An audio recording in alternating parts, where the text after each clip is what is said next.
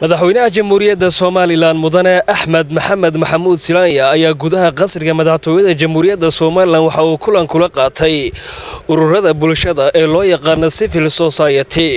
Kulankaasi ballaadhan ee uu madaxweynaha jamhuuriyadda somalilan uu kula qaatay madaxtooyada somalilan ayaa waxa uu daranaa diiraddana lagu saaray sidii ururada bulshadu ay door muuqda uga ciyaari lahaayeen doorashada madaxtooyada ee maalmaha koobani ay ka hadhsan tahay madaxweynaha jamhuuriyadda somalilan mudane axmed maxamed maxamuud zilaanyo oo la hadlay ururadaasi bulshada ayaa waxa uu kula dardaarmay in kaalintooda ay ka ciyaaraan maadaama doorashada madaxtooyada somalilan la filaya inay dalka ka qabsoonto saddex iyo tobanka bisha noofembar ee fooda inagu soo haysa.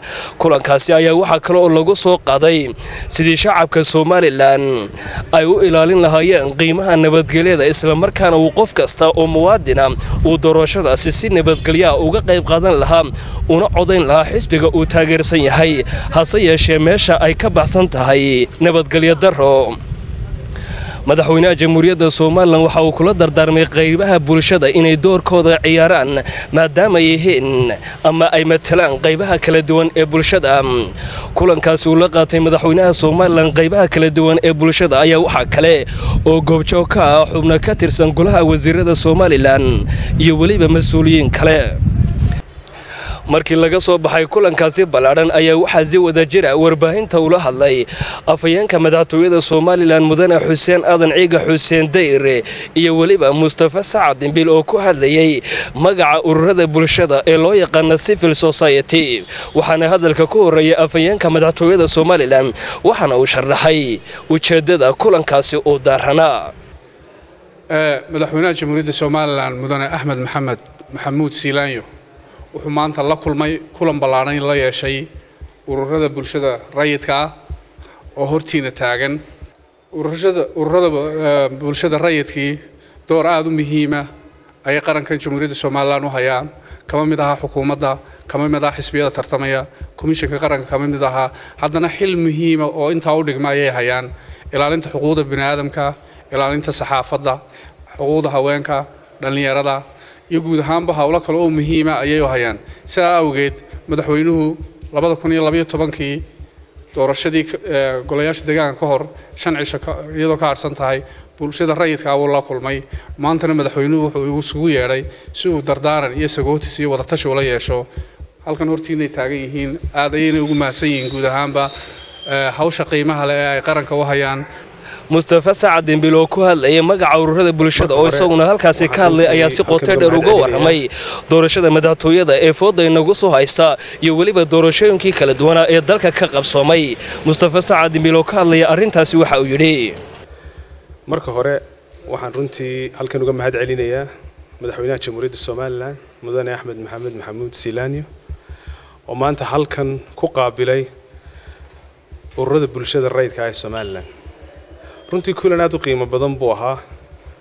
Sida afhayeenku sheegayna laba kun iyo labiyo tobankii doorashadii golayaasha deegaankana shan cisho ka hor doorashada halkan wuxuu ku qaabilay isla ururada bulshada rayidka ah ee somalilan ururada bulshada rayidka ah ee somalilan waxay gacanta ku hayaan howlo aada u muhiima oo ay ugu weyn tahay goobjoogayaasha maxalliga ah ilaalinta xuquuqal insaanka doorka dhallinyarta haweenka dadka lagada tirada badan yahay dadka aan laxaadkoodu dhammayni ay ku yeelanayaan doorashada dimuqraadiyadda geed socodka iyo hanaanka dalkani u socdo.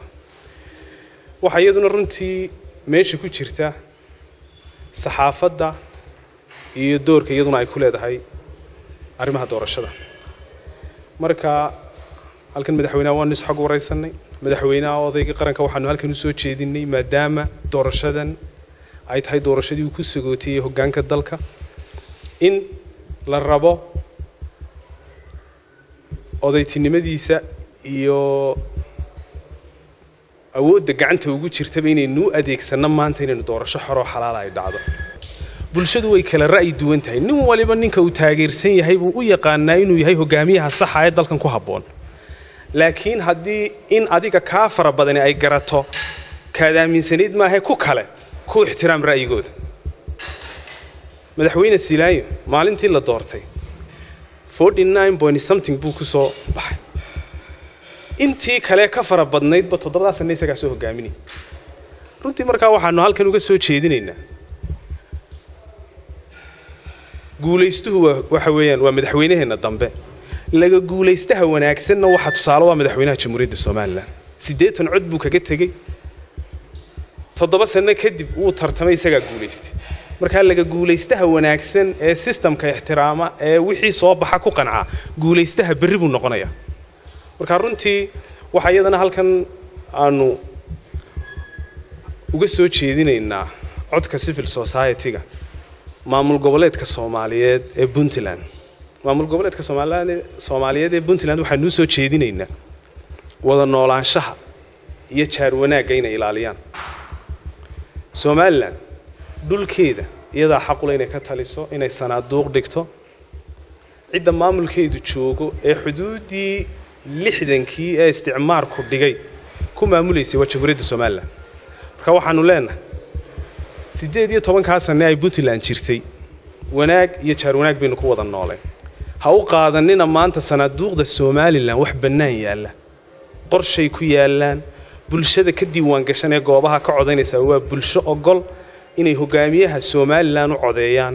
Waana bulsho somalilan ka tirsan baan leh marka waxaan iyaga u soo jeedinayaa inay ilaaliyaan jaar wanaagga iyo wada noolaanshaha madaxweynaha jamhuuriyadda somalilan mudane axmed maxamed maxamuud silaanya ayaa bilihii u dambeeyey waxa uu kulamo kala duwan oo lagu ilaalinayo. Doorashada madaxtooyada somalilan sida ay nabadgelyo ugu dhici lahayd waxa uu la yeeshay. Taliyaasha kala duwan ee ciidamada qaranka toddobada xubnood ee komishanka doorashooyinka qaranka qaybaha kala duwan ee madaxdhaqameedka ururada bulshada salaadiinta culimo awdiinta iyo cid kastoo ay khusayso. Arrimaha doorashooyinka madaxtooyada somalilan waxaana madaasi ay daaranaayeen sidii qolo kastaba ay doorkeeda uga qaadan lahayd sidii ay dalkan uga dhici lahayd doorasho xor iyo xalaala oo loo siman yahay. Axmed saki daahir xasan iyo cabdi cumar jibriil warbaahinta qaranka somalilan gudaha qasriga madaxtooyada somalilan ee hargeysa